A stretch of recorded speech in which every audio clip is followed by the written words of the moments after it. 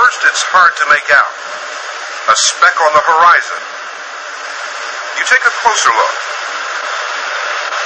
A boat. A flag. An arm waving. A crowd gathers along the beach. This is the east coast of Malaysia, final destination thousands of refugees fleeing Vietnam. Many don't make it this far. They're attacked by pirates, drown, or starve to death. These have me. But will the Malaysian police turn them away? Or will they be stoned by local villagers? The crowd waits to see how many will survive this time.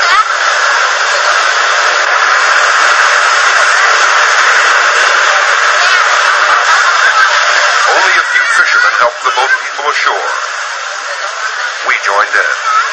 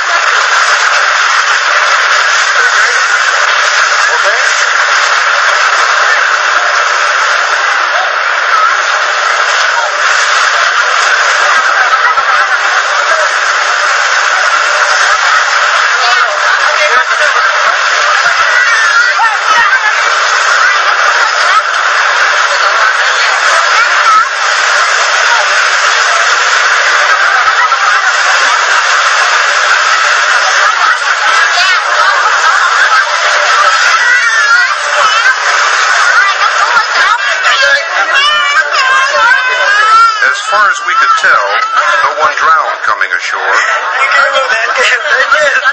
And just for that, some were grateful.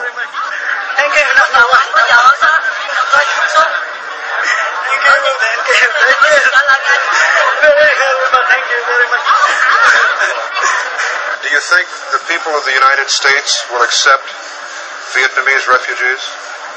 Um, in certain cases, I think I think that they will accept In certain cases?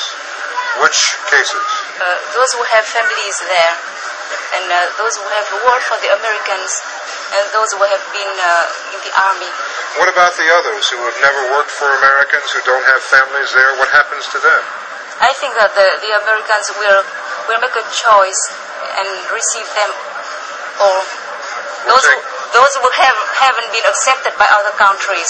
The United States will take all. Yes, You really believe that? I hope.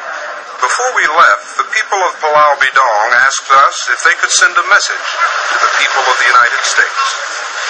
We, we members of the, uh, the Vietnamese Refugee Committee here, in, on behalf of 23,000 refugees, we would like to give this message. It's only for humanitarian reasons, because we are living in very terrific conditions, and we hope that we will get the, the, all the help of the people and the government of the United States.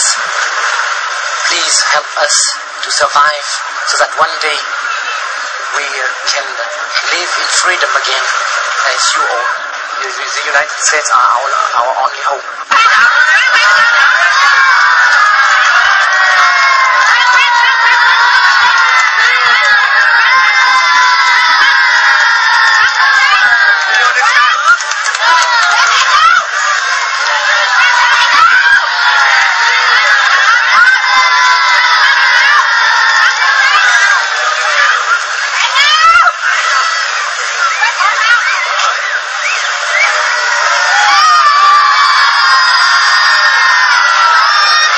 We were also given personal messages to take back, and at almost every turn there was always someone with another letter.